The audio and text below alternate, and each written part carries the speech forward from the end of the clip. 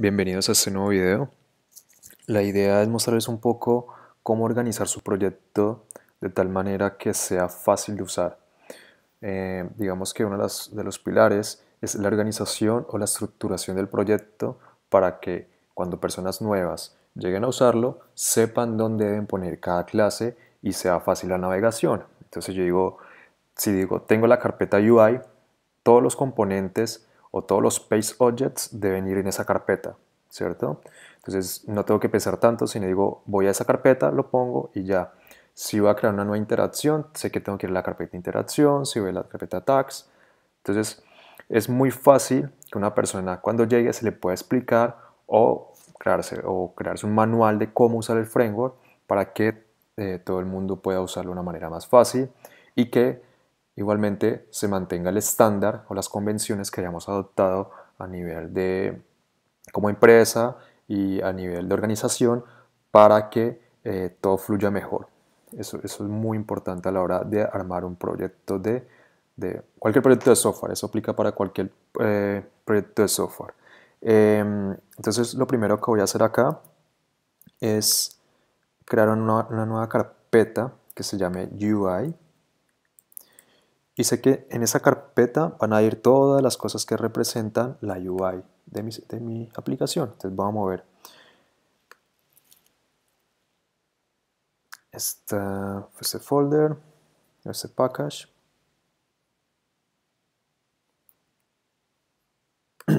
Login también.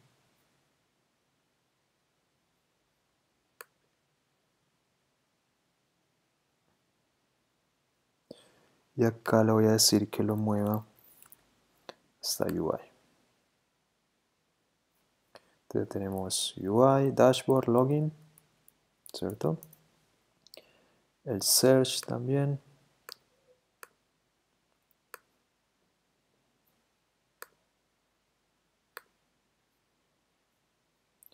Y listo, entonces cuando alguien eh, nuevo, nuevo, vaya a crear un, vaya a modelar un nuevo PageObject pues sabe que va a crear una nueva carpeta acá y va a crear sus, clases de, modelamiento de la página en este lado. ¿Listo? Entonces vamos a comenzar a organizar un poco nuestro, nuestro framework.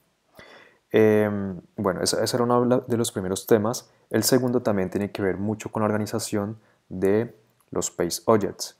Digamos que hay muchos conceptos con respecto a esto y es el siguiente. Es un cambio muy muy sencillo que se, que si uno lo hace, eh, digamos que va a mejorar mucho eh, la separación de responsabilidades. Y es cuando tenemos una página, por ejemplo, como esta, que es bastante grande. Entonces, que he visto que, digamos que de alguna manera se sigue muy al pie de la letra el patrón PageObjects y básicamente lo que se hace es que todos los componentes que yo veo en esta página se ponen en una sola clase. Entonces, yo estaba haciendo acá algo como lo siguiente. Eh, estaba poniendo todos los localizadores y si se dan cuenta son un montón y eso que no los he puesto todos, están todos acá y encima digamos que vamos a modelar esa tabla. Entonces se imaginarían que la clase comienza a crecer más y más y más. ¿sí? Entonces, ¿cuál es la propuesta? Ustedes pueden buscar en, la compañía que trabajé eh, anteriormente, bueno, anterior a esa también, manejaron un concepto que era web, web Entonces, ¿qué es un web object? Si se dan cuenta, nosotros en, normalmente en las aplicaciones tenemos un footer, eh, un, header, ¿sí? un footer, eh, de pronto un menú, ¿sí? estas tablas eh, y ciertos datos, ciertos componentes que son comunes a todas las páginas. ¿sí? A eso es lo que se le llama como web object. Entonces, ¿qué es lo que se, qué es lo que, qué es lo que se busca con esto? Es básicamente en vez de poner todos los, todos los localizadores que representan una página, separarla por, por eh, organización lógica. Yo sé que esto acá es un componente que representa el menú. Entonces lo que hago es que simplemente me creo este menú de acá con los diferentes eh, localizadores. ¿Qué beneficio trae esto? Yo puedo hacer dos cosas. Uno, es que yo puedo tener mi página, mi, mi página eh, a ver, ¿dónde es que la tengo? Dashboard page, esta, ¿cierto? Entonces digamos que dashboard page es esta. Y lo que yo agarro es que comienzo a llamar los diferentes web objects en este lado. Entonces yo entro acá y aquí voy a tener, por ejemplo, 5 web objects, ¿cierto? Y cada web object va a tener sus diferentes localizadores que lo representan. Ahora bien, digamos que voy a modelar otra página y en esa página vuelven a aparecer los web objects. Lo que yo hago es simplemente hacer el llamado dentro de ese page object mayor a mi web object. Eh, nombres que encontré para este, para este, como, es, como esa agrupación pequeña de cosas, encontré web objects, page, widgets y page components. Entonces, pueden buscarlo con esos nombres, buscar page objects, eh, Selenium, page eh, widgets o, page components y van a encontrar más información. Pero básicamente lo, que se trata es esa separación es, si se dan cuenta, es algo muy sencillo, muy, eh, muy básico, pero que ayuda mucho a la legibilidad del código y a la separación de, responsabilidades. Em, entonces acá, ¿cómo yo estaba haciendo acá? Por ejemplo, en la login state definition, lo que yo hago es que simplemente llamo al dashboard. Yo sé que estoy en dashboard. Punto left menu. Ok, accedo a este left menu ah, ¿qué me ofrece este left menu? Me ofrece estos dos, esos dos componentes para hacerle clic. ¿sí? Entonces es una forma fácil de, de, de separar responsabilidades. Clases más pequeñas y facilita la reutilización de los componentes. Em, y se van a dar cuenta que en todas las aplicaciones siempre, siempre hay cosas que son across, o sea, que son eh, están en, todas las páginas, se repiten, más bien. Eh, y eso me lleva a mí, o sea, en lo que he leído de algunos patrones de diseño, me hace pensar mucho en el patrón fachada. ¿sí? Entonces, ¿de qué se trata ese patrón? Básicamente, em, digamos que es como, como una casa. ¿sí? Yo tengo una casa y tengo la fachada de la casa.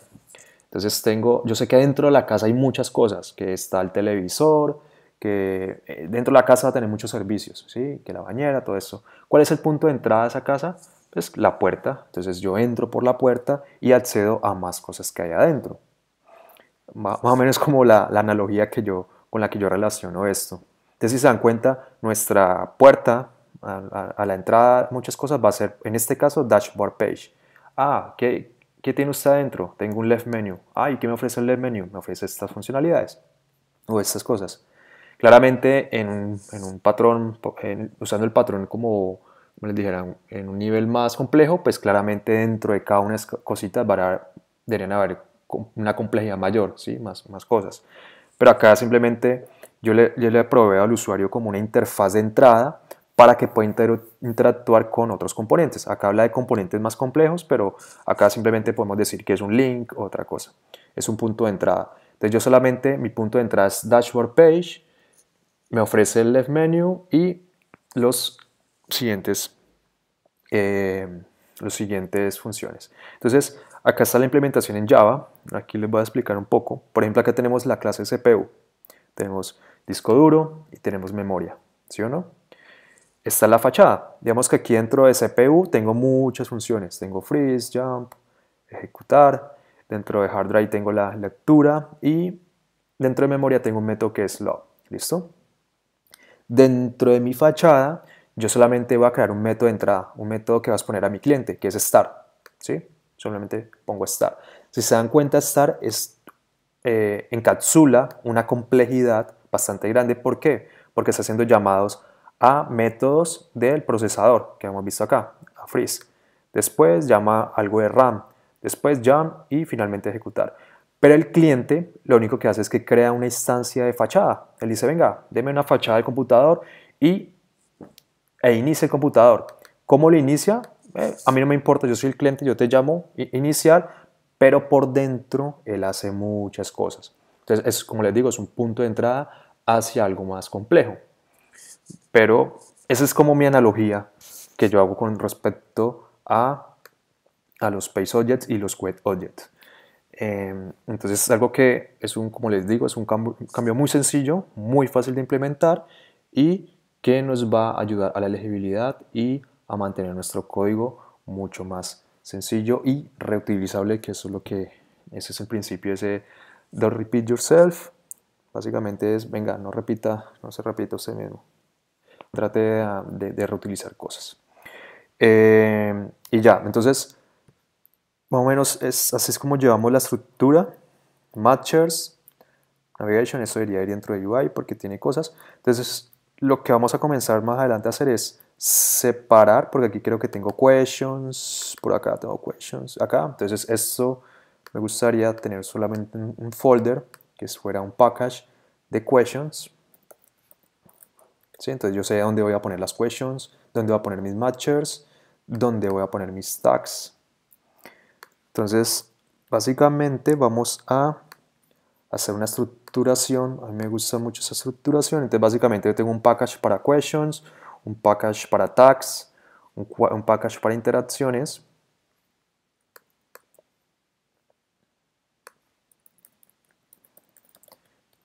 Y ya, entonces más o menos es eso, la estructura del framework que vamos a ir armando, ¿listo? Eh, bueno, eso era lo que les quería mostrar en este video.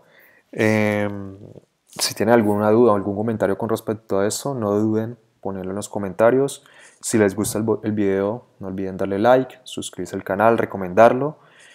Y nada, nos vemos en un próximo video. Hasta pronto.